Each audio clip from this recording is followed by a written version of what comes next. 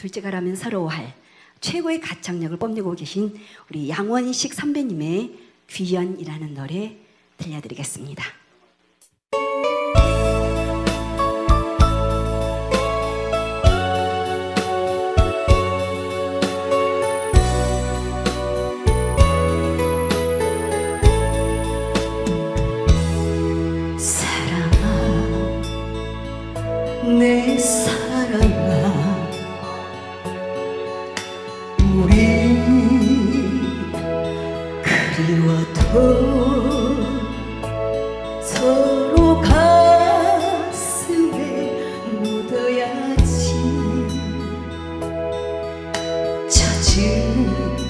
눈을 감고 그러다